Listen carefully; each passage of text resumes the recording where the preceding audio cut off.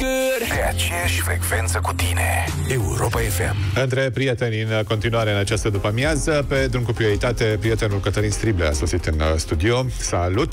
Salut! Ce mai faci? Abia aștept să aud uh, c- despre cine vei povesti astăzi. Înțeleg că vii iară cu o informație din aia pe care trebuie să o digerăm așa. Da, Da, când vine vorba de guvernele României sau de administrația românească, imaginația este limita. Adică luați un subiect și duceți-l dincolo de imaginație și atunci o să apară chestiunea aia interesantă. De exemplu, acum, Guvernul României, nu pot să mă abțin. Așa? Așa, pregătește o ordonanță de urgență prin care vrea să combată specula. Specula? Specula, da. Pe, în toate domeniile sau nu știu, pe Da, toate palierele da, de la cei da, care da, îți vând da, bilete da. la meciuri Exact, uh, vast naționale. proiect. Vast proiect, da. Aia se cheamă bișniță. Deci nu intră la speculă, cred. Da, mă rog. Hai să auzim detalii. Hai să auzim, da. Rațiunea zilei cu Cătălin Striblea la Europa FM. Lucrurile arată cam în felul următor. Ordonanța asta de, urg- de urgență. E ordonanța guvernului, e în lucru, da? Și e la Ministerul Finanțelor și Ministerul Economiei, cele două entități care se pregătesc. Ea apare pe fond, un fond inflaționist, adică sunt prețuri foarte mari, le vedeți în diverse zone. Am avut și întâmplarea cu benzina pe care o știți, când s-a, două benzinării au făcut Nici nu mai pare atât de șocantă, pentru Da. că s-au apropiat atât de mult prețurile de valoarea de 11 lei pe Este- litru, încât E uh, 8 lei și ceva, nu? Dar am pus și la 7. aproape 9 au fost la un moment dat Au înainte fost de aproape Paște. 9. Bun. Și acum există această credință pentru foarte multă lume, da, și pentru Guvernul României văd că multe dintre prețuri de la alimente până la uh, benzină, să zicem, sunt date de speculă. Și uh, speculă ar însemna faptul că comercianții încearcă în această perioadă, sugerează Guvernul României prin acest document, că își fac profituri mai mari decât de obicei, profitând de o situație inflaționistă. Adică, domnule, dacă tot sunt prețurile mari, de ce să nu mă bag și eu cu prețul mai sus în mod nejustificat? Știu că o definiție a speculei e greu de dat, mai ales legislativ, pentru că până la urmă un om care muncește și are fabrica lui sau afacerea lui sau serviciul lui, el încearcă să-și gestioneze prețurile în piață, nu? Adică Justificarea fiind că există cerere. justificarea fiind că există cerere sau că produce foarte scump, nu știu, mă gândesc la cineva care scoate roșiile acuși sau deja le-au scos roșiile la prețuri foarte mari și zice, bă, Ah, dacă cireșele, stai așa că vin Cireș, las că cireșele n-au nevoie de curent electric ca să crească, dar la roșii a fost în seră, nu? S-a băgat căldură Hai și acolo să vezi. zici, s-a scumpit căldura, s-a scumpit curentul, mergem așa. Cum faci însă, tu ca stat, că asta e întrebarea cheie, să-l prinzi pe ăla care face speculă sau care e într-o afacere, să faci diferența de cel care e într-o afacere onestă și să-i zici, uh, domnule, uite, ăsta a mărit prețurile pentru că el a simțit că altfel nu merge afacerea lui, nu? Și ăsta o, o, o mărește prețurile doar ca să obțină un profit nejustificat. Dar ce înseamnă nejustificat? Până unde e? Dacă până acum el își lua marjă de 5, 10, 15%, cum o să stai să calculezi? O să te duci să vezi, ia uite mă, și-a pus ăsta 50% în perioada asta. Și el o să spună, păi da, dar mi-am pus 50% pentru că m-am uitat și eu în alte părți, era deja mare și aș vrea să merg. Până unde stabilește statul că e un profit corect? E, aici vine un răspuns. Uh, l-au pus pe domnul Chirițoiu de la Consiliul Concurenței să dea un răspuns, că na, e complicat răspunsul ăsta și zice așa. Domnule, în situații excepționale, deci nu în orice situații, într-o situație de criză, unde pot să apară probleme dacă comercianții speculează? Cresc prețurile peste nivelul lor obișnuit și acceptabil, dacă fac stocuri mari în loc să vândă, acumulează produsele alea ca să le vândă mai târziu mai scump, dacă își limitează producția, deci în loc să producă la capacitate normală, iar își restrâng producția ca să genereze o creștere a prețului. E, Bun, și explicație mai amplă, a venit și ministrul economiei și a zis, domnule, facem niște drepturi pentru consumatorul român. Uh, cum o să te duci tu într-o fabrică și o să-i zici, bă, îl, îl iei la documente și zici, câte conserve ai făcut, uh, Vasilică, luna trecută? 8.000 să treci. Și câte ai făcut luna asta? 6.000.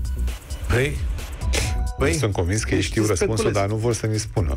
Eu, Metodologia. Metodologia va fi foarte complicată, dar în același timp semnalul e un pic uh, neserios. Pentru că nu ai cum să te pui de-a curmezișul economiei de piață. Asta s-a mai întâmplat în comunism, știi? Hai că să tragi și o linie și să zici, prieten, până aici e. Cartoful costă cât o costa el și nu mai mult de atât. Da? Sau conservele o să coste atât și nu mai e mult de atât. Și aici, desigur că o să te duci și o să spui, dar de ce la voi în supermarket uh, conserva de gem de prune este 8 lei și la ăștia la alții 4 lei? Păi știți că stocul, că noi vindem prunele mai scump, că vindem uh, ăla mai ieftin și poți să ai o grămadă de întrebări aici, dar ce mi se pare complet de neserios este că le sugerez oamenilor că prețurile mari sunt rezultatul unei poții până la urmă, nu? Dar știi că foarte mulți cred uh, treaba asta, da. că în România prea au crescut toate, știi? Și da, peste nu tot se întâmplă numai în perioada, nu s-a întâmplat numai în perioada asta. Peste tot și în anii lume... trecuți bătea puțin vântul prin uh, golf, uh, se ducea benzina la nu știu cât pe litru. Când scădea prețul acolo, la noi scădea da, mai greu. Eu, da, când am fost la Tot economie, felul de discuții, a fost, știi? da, e o discuție și un mecanism pe care nu-l înțelegem complet, că ele nu funcționează așa. De exemplu, te uiți, trebuie să te uiți la ce tip de benzină ajunge în România, unde e rafinat și de unde vine petrolul ăla. Că e un preț la petrolul din Rusia, un alt preț la petrolul din Golf. Deci la noi impresia generală este că nu scade nimic niciodată. Orice s-ar întâmpla, da? Haide, că nu e Pe bune, deci De dacă ce întreb ăsta? mai mult N-a de fost 50% din litru de populație. Benzină 4 lei în Spune pandemie. ceva ce s-a ieftinit în țara asta N-a în fost ultimii... 4 lei benzina în Lasă că pandemie. era pandemie și ne țineau închiși în Păi case. aia, și da. nu, aia a fost- păi ai și cine cerut s-a un bucurat de exemplu. cine s-a bucurat de Ai- benzina de 4,5 Ai cerut lei? un exemplu. Da, în general, toate țările suferă de procese inflaționiste. Ah, nu? ok, Adică- a fost motorina 4,5 lei pe litru. Ce s-a ieftinit în țară? Păi nu Ți s-a știu părut ce că în s-a- pandemie prețurile la alimente au scăzut Bă, brusc? se nu, nu Te m-am duceai uitat cu că au- 10 lei și plece- Nu, plecai că a cu fost două o cerere cărucioare? destul de mare. Nu, că se pleca cu două cărucioare. Se pleca cu două cărucioare. Dar procesul inflaționist este un proces, cum să zic, continuu. Cam așa se bazează. Economiile se finanțează și din Și inflație. noi avem o, o Da, economie eu știu atipică. o singură țară unde e deflație. A fost multă vreme deflație, a fost, uh, adică e proces invers. Da, invers. A fost Japonia și aveau mari probleme în economie din, uh, din cauza asta. Nu, dar știu și țări unde Da. prețurile au stagnat. Unde au stagnat? Peste tot. Nu acum, nu acum. Care Atenție, vor fi anii la trecuți. diverse lucruri, ar fi stagnat Da. prețurile. Ce să zic? La noi acum nu mai e în sus. Nu mai e în sus. nu știu. Îți iei credit acum, Trebuie nu să- știu, șapte trebuie ani să cu știi că și salariile au 1000 de crescut. lei Stai pe un pic. lună, peste 5 ani Da, ajungi la nu e- 15 lei pe lună. Da, mă dar rog, tu te-ai 1500. uitat că cu tine am vorbit aici. Cum au crescut salariile în România, de exemplu, la partea de stat? Când Da, ele, păi, cum? Ele, păi, au crescut și salariile. Cât vrei să... Uitați, Da, și au crescut de la pensiile s-au diferență, dus ți-am până- zis, 400 de lei, de la 400 de lei diferența între salariul bugetarului și al privatului, s-a ajuns la o diferență de 2700 de lei acum. Deci au crescut salariile, nu?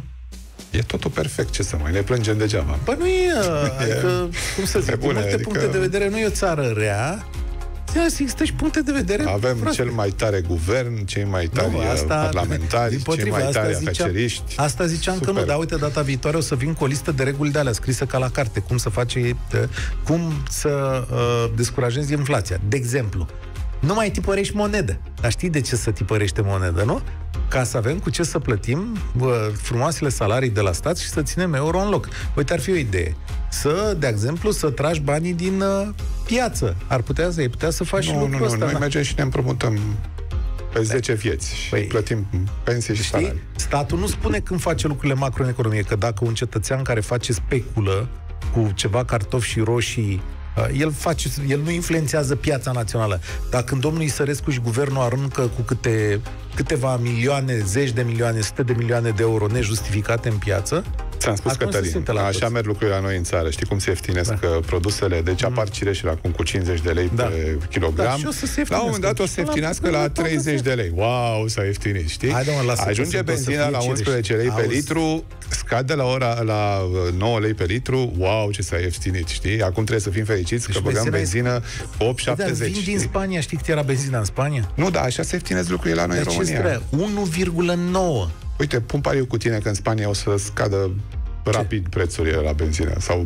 De ce înaintea să scadă? României. O Eu- să vezi. dar 1,9 era benzina în Spania la BP, era și la 1,7, dar am văzut pe autostradă numeroase Bun, locuri și la atunci vin și te 1,9. întreb care e și salariul 1,9. unui spaniol Ce de să la zic? stat sau din privat. Și A, bă, Am vorbit cu cineva de la privat, așa, și avea 1000 de euro, au 1100 de săraci, euro. mi se rupe inima. Da. Nu mai pot. Avea cât un funcționar la noi. Spaniolilor Ce să zic, veniți toți în România că nu știi ce da. Dar pierdeți. el zice că sunt numai spanioli bogați.